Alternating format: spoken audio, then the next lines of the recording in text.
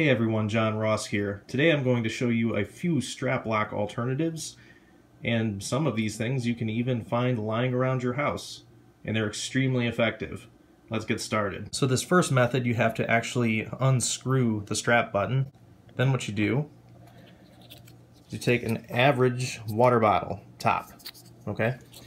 So you take the one, what you're going to end up doing is poking a hole big enough for the screw for the strap lock to fit in there. The way that you're going to assemble this is we've got your hole that I've drilled through and this is actually going to go underneath the strap button. So there you go, all assembled. Now you are going to need your strap. You're going to line up the two holes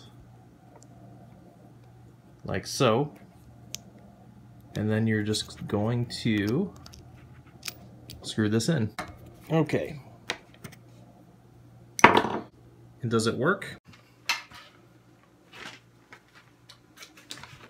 It works. And look no further than the bread that you're eating. You don't want to use a mini guitar just because they're not going to work, so I have my American Standard Stratocaster here with these standard strap buttons. These things are a stubborn pain in the ass.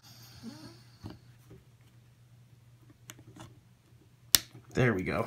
And voila.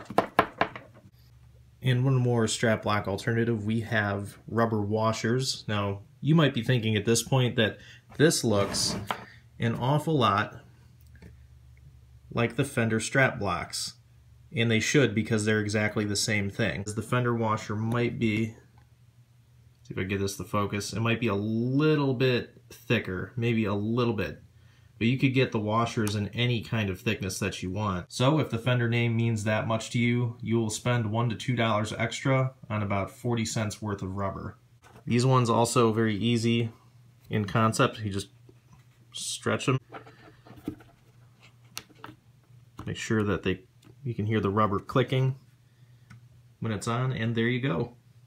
And that'll do it for today, so thank you for watching. If you have any alternative strap locks, please comment below, like and subscribe, and tell your friends. And until next time, I'll see ya.